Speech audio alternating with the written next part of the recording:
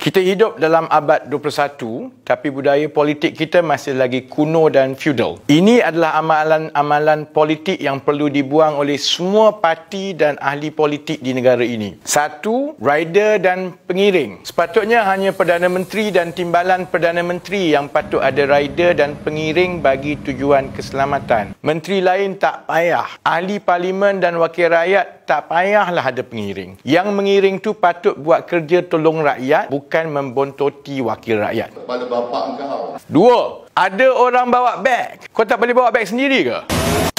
Berat sangat ke beg nak bawa? Bukan berat macam beg budak-budak sekolah pun. Kalau beg sendiri tak boleh bawa, kena ada orang khas yang bawa, patutlah rakyat kata ahli politik pemalas. Kamu tak ada malu ke?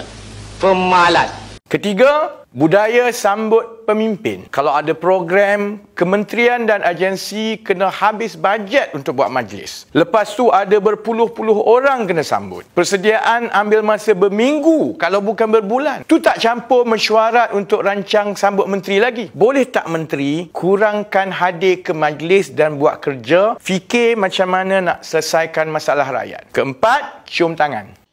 Tolonglah jangan cium tangan ahli politik. Kita semua banyak dosa, entah-entah dosa rakyat lagi sikit dari dosa menteri. Kita bayar dia buat kerja, yang kita pergi dewakan dia tu apa-apa. Stupid.